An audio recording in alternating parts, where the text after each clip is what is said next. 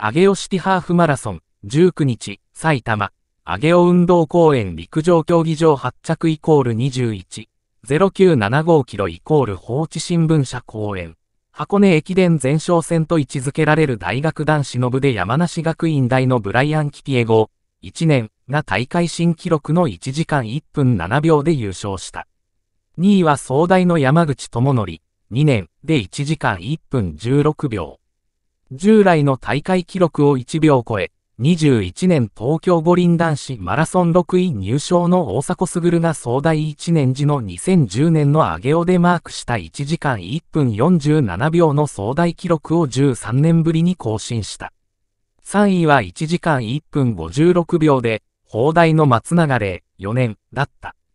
男子の部では JR 東日本でコーチを務める33歳のポール・クイラが大学の部より早い1時間0分47秒で優勝した。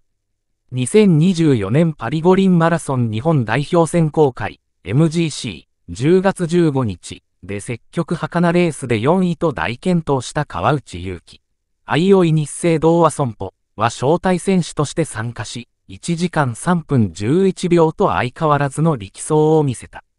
埼玉県出身の川内は11大会連続16回目の出場。36歳のカリスマランナーはゴール直後、気持ちよさそうに汗を拭いながら話した。毎年、上尾で箱根駅伝を目指す学生ランナーと競り合うことを楽しみにしています。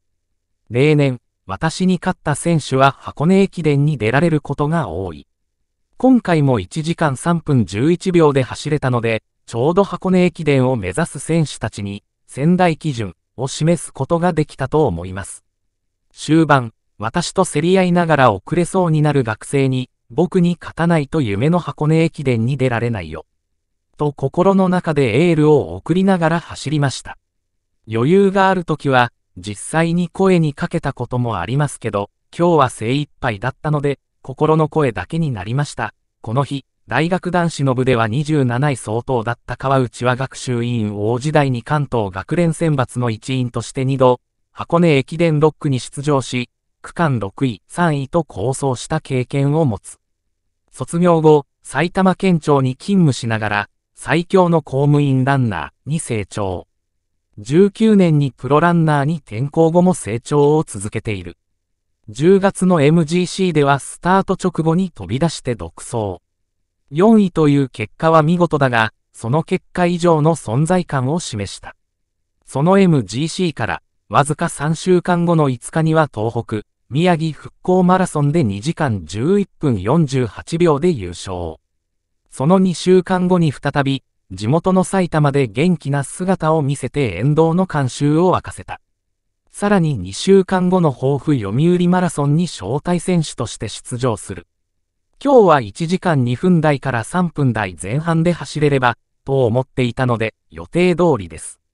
沿道の方々にいつも通り大きな応援をいただきました。ありがとうございました。抱負では大会記録2時間8分16秒を目指して走ります、と前向きに話した。自身のレース終了後には3キロのレースを懸命に走る小学生ランナーを大声で応援した。36歳のマラソンランナー川内優輝は、どこまでもタフでパワフルだ。